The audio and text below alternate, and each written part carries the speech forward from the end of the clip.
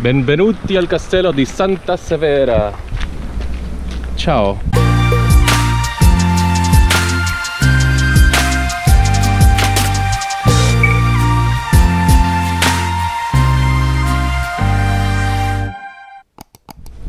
Hi everyone.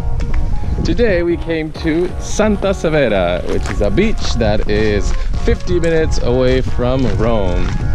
We're gonna enjoy our last beach probably of the summer. So we're here. Oh, there's a little crab.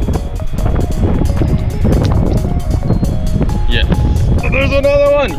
Oh, oh there's a lot.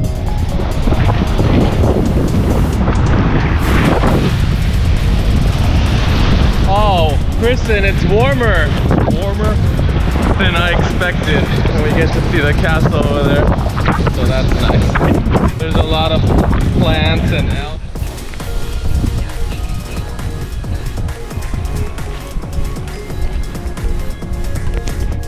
We're in the castle courtyard now. It's an early Christian church. There's a column. What else is it? It was probably destroyed by a fire and abandoned in the 14th century. And it's always been partially underground. And it's always been partially underground. Amen.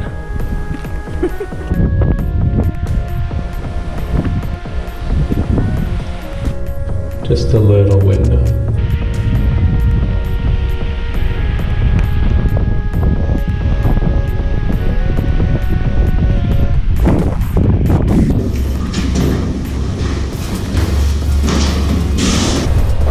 What did you think about Santa Severa? It was nice, but it was definitely not my favorite. they make it look way more romantic in the pictures they posted it, and it's kind of just. I actually beach was dirty. Thought it was gonna be better than it was, but we just ended up drinking white wine. It still works for us. Not a bad day. Not a bad day. Could be worse.